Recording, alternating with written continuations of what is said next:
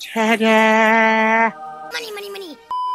This is why you need to invest your time in AFK fishing. Every now and then, BD offer these amazing life skill events, which is one of them is literally doing nothing and you can still make up to 2.3 bill just by AFK fishing in 14 days. After the update in October 5th, people now can receive discarded glass bottle when AFK fishing.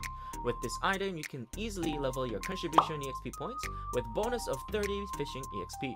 Not even that, you can also get Breezy Con Seaweed, which is an item that you will need to enhance your tier 8 horse to get Dream Horse. Plus, they double the selling price of fish above the blue grade tiers. So more money, let's go! So if you're living at a place where electric bills are no problemo, you should definitely get into AFK fishing so when the time comes, you can make easy 2.3 bill like me. So why start your AFK fish training now?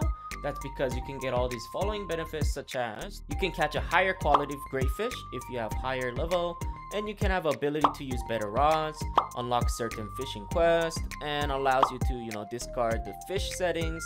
And also, you can also fish more in a fishing hotspot but that is not for AFK fishing, so we'll move on to the next one. The one you actually want for fishing rod is Balenos fishing rod because they give you auto fishing time minus 10% to minus 25% depending on what enhancement it is for the fishing rod. There are tons of life skill buffs out there so you can level up your fishing XP much faster, so definitely check this out. Um, I'll put the link below and down the description so you guys can check it out later. BDO brings up AFK fishing events every now and then. There was one event that was on November 2nd and previous before that was in August 3rd. After reaching the mastery groove from EXP fishing, now I can usually make about 30 mil every 8 hours for AFK fishing.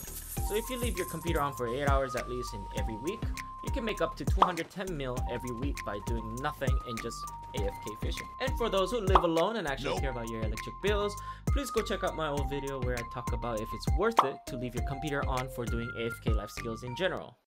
So what are you waiting for? Go fish,